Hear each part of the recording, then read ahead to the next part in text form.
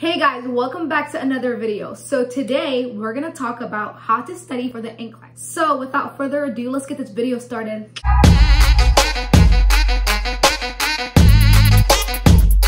I got it.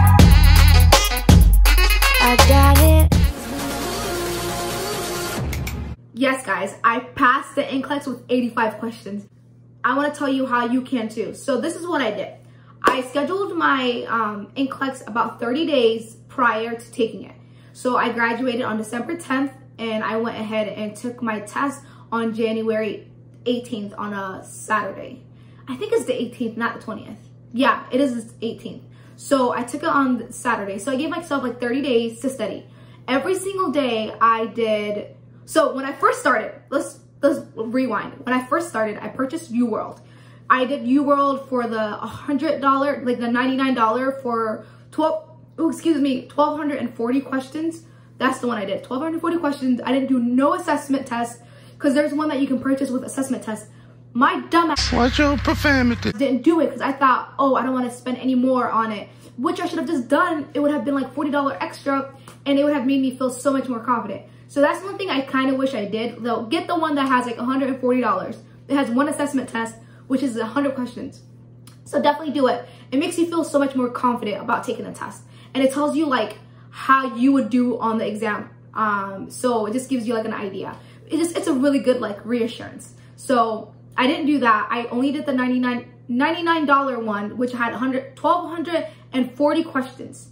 So that's the one I did. I did 85 questions a day when I first started, but it was so hard to do 85 questions like UWorld explain things like no other. Like every single um, multiple choice question, it's broken down. So it's really nice, but it takes forever. Like it literally took me four hours to study. When I first started, like it took forever. Like going through 50 questions was like so long. And when I when I did it, I went ahead and so I would answer the question and I would look at the rationale right after it.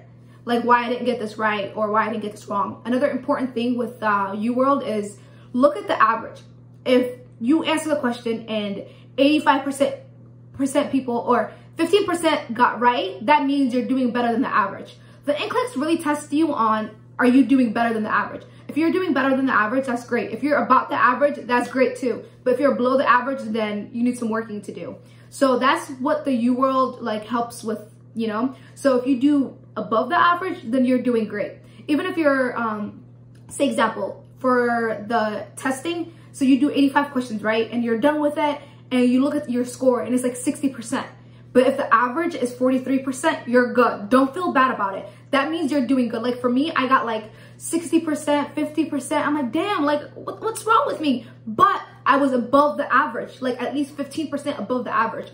And that means that's a good thing. It's like, so, so don't like feel bad about it. So as long as you're doing above the average, you're good. So that's basically how I studied. I studied, but obviously I ran out of questions with UWorld. And when I did, I used Saunders. I don't know if you guys have Saunders, but you know what? Let me show y'all. I have Saunders PN, and this one has 4,000 questions. This is like the older edition. There is a seventh edition, which I would recommend to get. And I'm pretty sure you probably have it if you're in the PN program. And even the RN program actually has it too. So it has a lot of questions and I start doing this after. And once, you know, you start doing like 100 questions a day, it gets so much easier. And I would do like 200 questions a day the last week before I took the exam. So seven days prior, let me put this down. Seven days prior to the test, I literally did 200 questions a day. Like I went hard. So one week before the exam goes super hard. But before then, still go hard. But like, you know, obviously we're human beings. So like you can't go hard every day. But the last week, the seven days before your test, go hardcore, not even kidding. And I did overall, I would say, hmm, 2,500 questions, like 2,500 questions is what I did. They recommend to do like, I think 4,000 questions throughout the thing. So like 100 questions a day is what they recommend. But yeah, so that's what I did. Um, and honestly, I passed. You know, low key though, I really did feel like I could have done more. I could have studied more. In order to avoid that feeling, I would say just like do 100 questions a day, even if you don't feel like it, push through. And just remember, like, you know your information. You just have to like review it. You know what I mean? So yeah, And at the end of the day, the NCLEX really wasn't that bad. It's just based on your knowledge on everything that you learned throughout the nursing program. And honestly, like it's doable. You can do it. I can do it. We all can do it. You already did the hard part. Like you went through nursing school and that's the hardest part to be honest. So if you can do that, you can definitely pass the NCLEX. Just set your mind to it. Be productive, like single every single day, study three to four hours, which is like 100 questions a day, you know, and you can do it. It's so doable. Thank you guys so much for watching. If you have any questions, please leave it in the comments down below and I'll see you guys later.